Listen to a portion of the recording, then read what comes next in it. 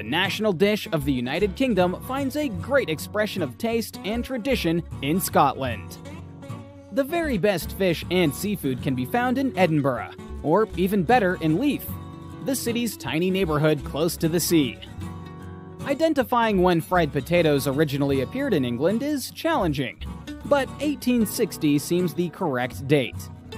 Many culinary historians believe that Jewish chef Joseph Malin created the first fish and chips in London in 1860. Fresh fish is battered with an egg, milk, and flour combination, fried, and served on a plate or in a packet, depending on whether you dine in or take away from a so called chippy. Thick cut potatoes or chips complete the magic of a recipe that has to follow only two rules for outstanding results fresh fish from the sea and hot oil for the frying.